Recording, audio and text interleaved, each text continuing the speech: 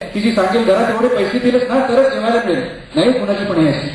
कुणाचे पण बाबा असे नाहीये की जे सांगतील घरात एवढे पैसे आणलेस ना तरच राहायला मिळेल. अरे फुकटचं खायला मिळते फुकटचं राहायला मिळते. आणि कसे वाटतं तुम्ही? तुमच्या आईवडिलांशी. हा प्रश्न स्वतःच्या मनाला विचारा. आणि जर का कुठे जाणवलं असेल की मी चुकलोय मी चुकली आहे तर आज घरी गेल्या गेल्या आई वडिलांची माफी मागा. आणि सांगा आय सॉरी मी नाही परत वागणार. मला आज माझ्या चुकांची जाणीव झाली आहे. बाळांनो हे चुकांचं ओझं घेऊन तुम्ही वावरताय रे. हे ओझं नका जाऊ परीक्षेला. कारण त्याचा नकारात्मक ताण असतो. तो ताण आज मोकळा करून टाका. सरेंडर व्हा तुमच्या आईवडिलांना. माफी मागा. आणि आजपासून स्वतःला बदला. तुम्हाला तुमच्या आई वडिलांनी तुमच्यासाठी काय करावं असं वाटतं या ज्या अपेक्षा आहेत ना?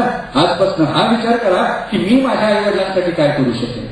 आपल्या आई वडिलांनाही कधी विसरू नका. कारण ही आहेत म्हणूनच तुम्ही आहात. तुमचे आई वडील आहेत म्हणून तुमचं अस्तित्व आहे.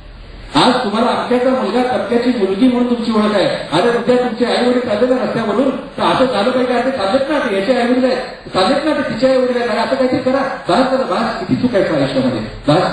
त्या सगळ्या चुका इथेच ठेवून जा त्या सगळ्या चुका सरेंडर करून टाका. आई वडिलांची माफी मागा. शिक्षकांची माफी मागा. आणि हे मोठं सगळं उतरवून टाका. आणि मग जा कॉन्फिडन्सची परीक्षेला. मग बघा तुम्ही काय करू शकता ते. कारण तुमची ताकद तुम्हालाच कळलेली नाहीये. माझ्याकडे पहा. मला मी पोचलो का तुमच्यापर्यंत?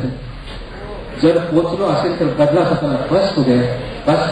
आपण फक्त जगाने बदलावा म्हणून अपेक्षा करत असतो. तुम्हाला बदलावं लागेल. तुम्ही स्वतःला बदला. तर उद्याचा देश बदलेल. मला माहिती